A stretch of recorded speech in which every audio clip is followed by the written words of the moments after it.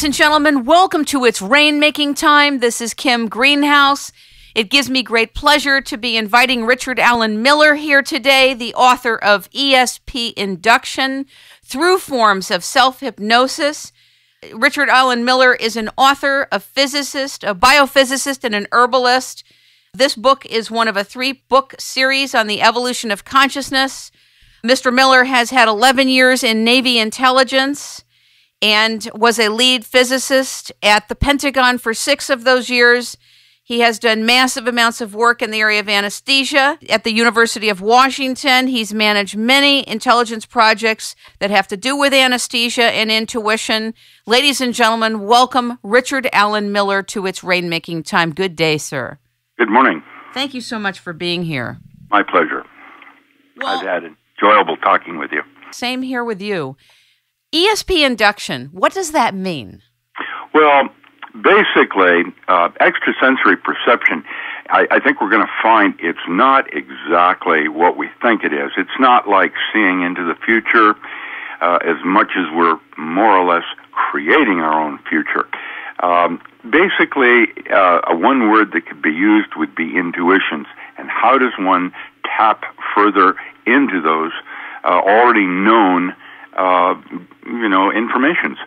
Basically, uh, when we started with Seal Corporation, which was eventually later called Seal Corp or then uh, Navy SEALs, uh, the primary uh, uh, role was for me to develop a tool by which to separate uh, the top two percent of of uh, Navy, let's say, uh, uh, graduates at, at Annapolis. Which two percent do we train further? And it, rather than how many bridges you could blow up, how many, uh, how, how much martial arts you know, the primary focus was on intuition and the ability to guess. When they came to a fork in the road, they wanted a 10 second protocol uh, to determine going right or left. And uh, they wanted a three sigma error coefficient on that. What does that mean? Well, a sigma is your standard deviation, and a three sigma means that you are 99.9975% correct in your decision making. And we discovered in a laboratory that there was an altered state of consciousness, just very close to our conscious awake state, but just slightly over to the left there, that your ability in guessing would increase more than 400 times where you are in a conscious state. And what they wanted was something that was very quick and very simple to teach. And then we looked for those that were right out of the gate already tapped into that and then tried to improve their ability in guessing. And those were the people that Navy decided then to go further and train them further. But the first criteria was intuitions, their ability in making a proper guess. Is that what intuition is? Well, it's difficult to know what it is. You know, um, Isn't it a there are, sensing? well, there's different ways you can define that. Um, for example, you have a gut feeling. Sometimes we've always referred to the gut, like my gut says I should do this. That's because, in fact, we have now discovered that there are nerve, nerve, uh, actual brain cells in your gut that function very similar to those in your brain, and there is you you have a different kind of feel. Now, the big key is how do you tap into that with consciousness so that you can actually use those intuitions as a tool. That was the challenge. We we wanted to know how to take that information and somehow filter it so that we had a conscious awareness of it and were then able to act on it. That kind of thing. Does breathing come into any of this in terms of tapping into the gut brain, something called the gut brain? Well, yes and no. Yes, breathing is the first and last thing anybody does when they come into four space. Um, you know, the first thing you do when you come out of the womb is they whack you and you take your first gasp of air. And usually that's the last thing that you do when you exit this area. And so breathing has always been considered so important that it was actually in our WEAF universe part of our entire uh, uh, training process where 10% of our life, whether you were jogging or riding a bicycle or uh, uh, doing Tai Chi, it was part of training the body and the mind working to, you know, working uh, as a as a unit. And so breathing is extremely important in that regard. What is induction? The title of your book is ESP Induction. You induce it, you bring it forth. Uh, that's what induction means, to bring forth.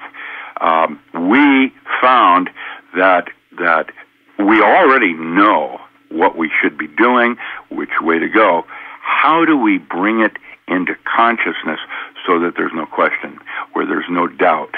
That part would be called induction, bringing it forth into a conscious level of awareness so that you are aware that this is the way I want to go, not that way. Later, I think we're going to find that it isn't that you're taking a peek into the future, you know, with clairvoyance or whatever, that in fact what you're doing is taking a look at the possibilities and making a decision on which way you can pull it off. And, and that will be ultimately toward the last book in the, in the series called The Non-Local Mind in a Holographic Universe. If you choose to see the universe as a holographic system rather than a quantized universe, what happens next is that information takes on a different dimension of resolution. And that's what we're really uh, actually doing when we talk about things like it's a physical thing or it's an emotional thing or it's an intellectual thing. They're actually all the same. They're just more higher vibration. Is that the right word? That the higher form of the same phenomena. In other words, information is everywhere. And how do you tap into that? And how you tap into it with the resolution of it is to whether it has emotional, intellectual, or physical content to it. Can you describe to us what is a hologram in your translation as a physicist? Yeah, hologram. yeah. When, why is it okay, so well, prevalent okay, today and important? I have a story on how I discovered it.